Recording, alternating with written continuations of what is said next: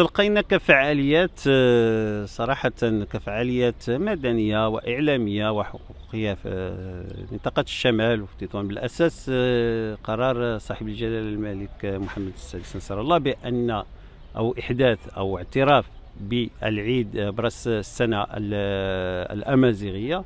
نعتبره أنه قرارا حكيما وجاء في وقته خاصة وأنه كان مطلبا مهما لمجموعة من الفعاليات. يجب أن نتعامل مع هذه المناسبة يعني ب ب ب بأنها معنوية أكثر مما أنها فقط يوم عطلة أو يوم يعني التنزه أو غير ذلك بل أنه يوم يجب أن, نركن فيه وأن نتحدث وأن نتذكر أن تاريخ المملكة المغربية أن تاريخ المملكة المغربية هو تاريخ عريق تاريخ عريق بالأمازيغ بالعرب بغيره من الأجناس. كذلك هي رسالة مهمة جدا أن المغرب هو بلد للتلاقح للتلاقي.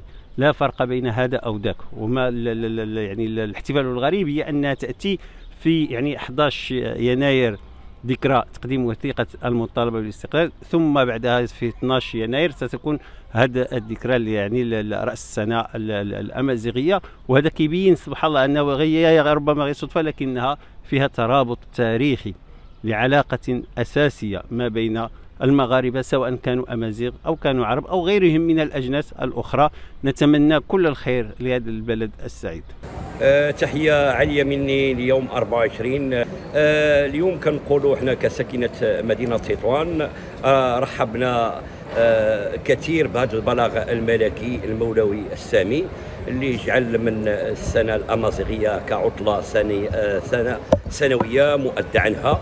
مثلها مثل العطلة السنة الميلادية والسنة الهجرية. هذا آه، فرحنا به بزاف. إحنا كساكنة.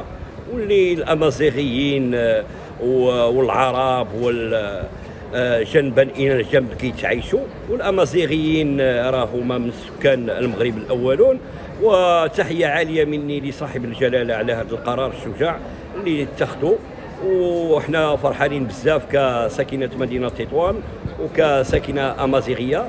فتحية عالية مني من هذا المنبر وتحياتي وشكرا.